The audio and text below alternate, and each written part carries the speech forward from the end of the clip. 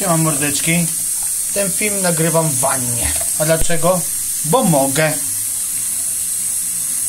Właśnie pysk sobie myłem i mam jeszcze ujebane. I mogę. Słuchajcie.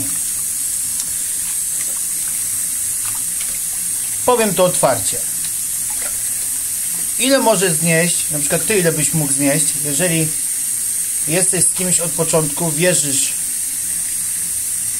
w ich plany, doradzasz im, pomagasz, kurwa, oddajesz serce, wszystko byś oddał, a później słyszysz u ludzi wypierdolaj, wypierdolaj. Później dzwonisz do kogoś i chcesz mu złożyć gratulacje, że super idzie, a ktoś mówi kuwa, kuwa, wypierdalaj, kuwa, wypierdalaj.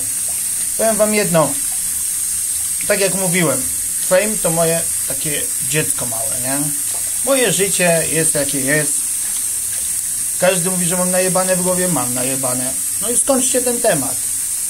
Lubię odjechane akcje, właśnie wróciłem do domu, gdzie byłem, nie zdradzę. Wbijam się do wanny, postanowiłem nagrać sobie ten film. Dlaczego? Bo mogę. I oficjalnie mówię, rezygnuję z Fame MMA. Ostatnio nagrywałem, że to moje małe dziecko i nie zmieniam tego zdania. Ale czasami, jeżeli dajesz komuś serce, a ktoś cię kopie w ryj i każe ci wypierdalać, to lepiej znaleźć innych przyjaciół i samemu działać niż, niż dostawać kopa w ryja, nie? No. Pozdrawiam zajebistego dnia. Będą teraz zajebiste burze, a ja kocham burze, więc coś wam nagram pojebanego.